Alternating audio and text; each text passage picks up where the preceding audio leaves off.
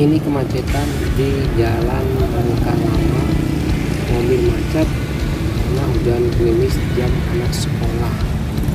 Kita belum tahu apa penyebabnya. Kita akan coba lihat di jalan yang lain lagi apakah macet juga atau enggak kita belum tahu.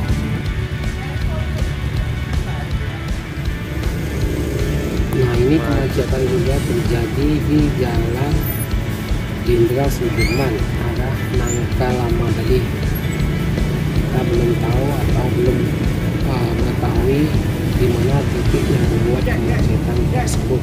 Ini pada jam yang sama beda menit saja.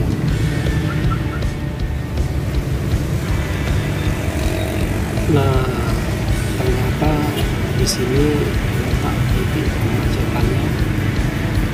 Ini membuat kemacetan di simpang nangka simpang nangka pada jam sekolah atau jam masuk sekolah jam 7.00 di sini padat sekali mobil ditambah lagi hari hujan jadi anak sekolah banyak diantar menggunakan mobil. Dan di titik sini membuat kemacetan karena mobil enggak peraturan jadi siapa dulu itulah yang bisa menyeberang siapa yang berani itulah yang bisa melaluinya